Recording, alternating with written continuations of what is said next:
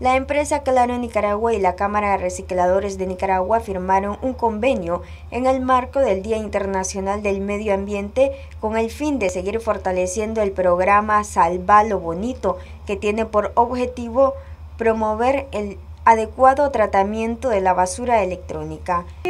Estamos celebrando el Día Internacional del Medio Ambiente y en ese marco hemos realizado una alianza y hemos unido esfuerzos a la, a la Cámara Recicladores de Nicaragua con el fin de seguir reforzando nuestras campañas de reciclaje de desechos tecnológicos.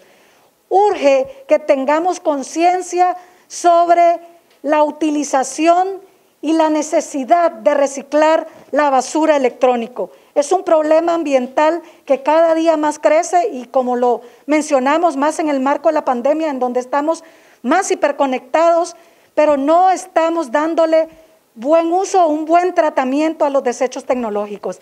Así es que, claro, Nicaragua se une a la Cámara de Recicladores para seguir haciendo acciones en pro del reciclaje de los desechos tecnológicos por el bienestar del medio ambiente. Según la ONU, la basura electrónica aumenta a nivel mundial. Actualmente se generan 48.5 millones de toneladas de basura electrónica por año y Nicaragua no es la excepción. Dando unas importaciones del año 2015-2017, si no estoy mal, dice que en el país ingresaron aproximadamente 1.450.000 kilogramos en importaciones de, aparatos electrónicos, esto se entiende computadoras, celulares y otros equipos tecnológicos.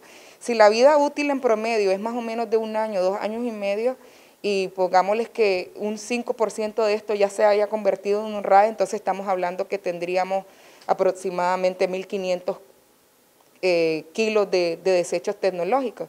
Bueno, claro, hoy mostró que en las campañas que vienen haciendo desde hace más de 10 años y con datos actualizados en el 2019 y en el 2000, hasta el 2021 han recolectado 2.400 libras de estos equipos. Entonces es un gran avance y es una ventaja, ya que si ellos no estuvieran haciendo este tipo de campañas, este tipo de, de electrónicos estarían contaminando el medio ambiente en algún vertedero clandestino del país.